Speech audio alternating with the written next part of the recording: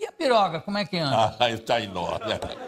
Ah, a Piroga, era piroga. grande a piroga dele. Isso, isso é uma Ah, história eu- linda. eu- eu- eu- Ele já contou aqui, mas faço questão, que é muito bonita. É uma lenda indígena da piroga de cristal, que é a história de um, de um guerreiro, né? Isso, Que roubou a filha do pajé. do pajé. E tinha uma piroga imensa, né? Imensa, ele, é. Como é que ele cantava? ele derrubou um jequitibá. Então era uma piroga que não tinha mais tamanho.